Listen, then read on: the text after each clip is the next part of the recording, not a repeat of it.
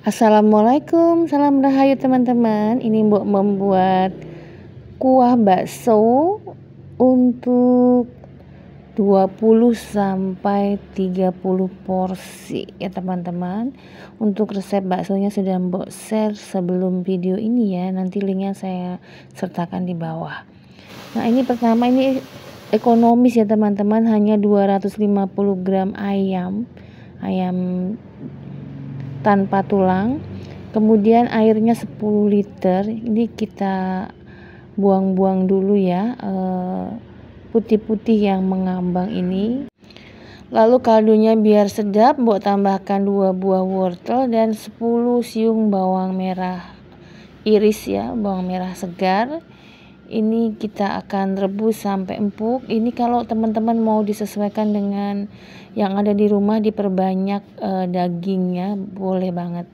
Lalu ini ada bumbu halus 100 gram bawang putih 100 gram bawang merah satu bonggol daun seledri dua batang daun bawang kemudian ada 10 sendok teh bawang putih goreng dan 10 sendok teh bawang merah goreng. Ini semuanya akan kita haluskan bersama-sama ya. Nah, ini sudah mendidih ya. Wortelnya juga sudah mulai empuk, kaldunya keluar. Ini kita buang dulu yang putih-putih menempel di panci.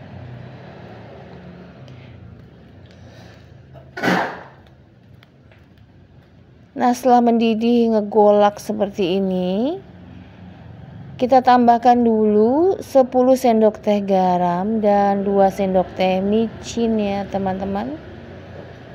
Karena dagingnya sedikit.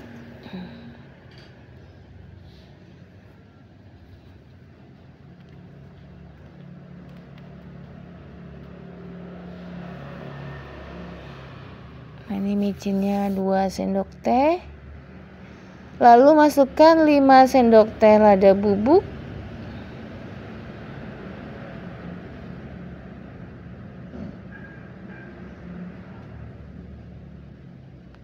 Kita aduk. Kita tes rasa dulu ya. Rasa asinnya masih cukup kurang dikit nanti kita tambah belakangan. Ini sudah Mbok masukkan bumbu yang tadi kita haluskan.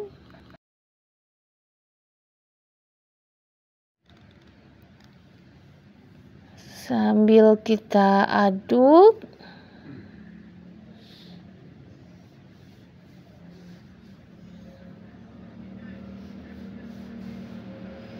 Kita biarkan mendidih.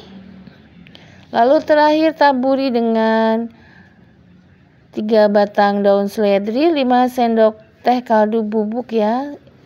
Juga bawang merah goreng. Ini bawang merah dan bawang putih gorengnya di luar e, dari yang kita haluskan tadi ya. Ini kita udah cobain. Kita tambahkan dulu 5 sendok teh kaldu bubuk Nah, rasa asinnya jangan terlalu kuat karena nanti pada saat sering-sering kita hangatkan, dia makin lama airnya makin surut ya, biar nggak keasinan.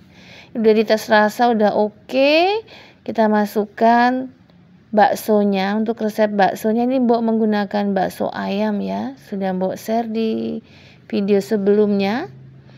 Nah, hasilnya seperti ini terlihat ya baksonya menul-menul, kenyal rasanya sudah oke okay banget. Nah pada saat mau disajikan airnya harus panas ya.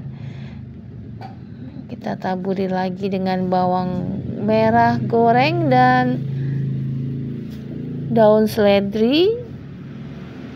Kita sisihkan dulu kuah baksonya. Kita akan buat sambelnya. Maaf ini kameranya goyang 100 gram cabai rawit merah campur dengan 2 siung bawang putih goreng seperdelapan sendok teh garam dan 100 ml air kita haluskan. Nah ini udah dihaluskan ya kita sisihkan sambelnya. Selain sambal kita memerlukan irisan daun seledri dan bawang merah goreng lalu juga kita memerlukan mie ya ini buat menggunakan bihun jagung biar tidak mudah hancur ini total 100 50-an gitu ya. Kita rebus selama 2 sampai 3 menit. Hasilnya seperti ini, angkat tiriskan. Nah, udah deh langsung disajikan ya. Ini cukup ya resepnya untuk per 1 liter air itu untuk 3 ya, 3 porsi.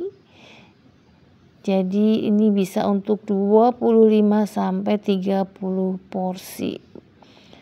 Nah, ini cocok banget buat teman-teman yang mau kumpul-kumpul keluarga, menyajikan makanan yang hemat, praktis, dan nikmat. Tak lupa Mbok Minut mengucapkan selamat Hari Raya Idul Fitri untuk teman-teman yang merayakan. Mohon maaf lahir dan batin.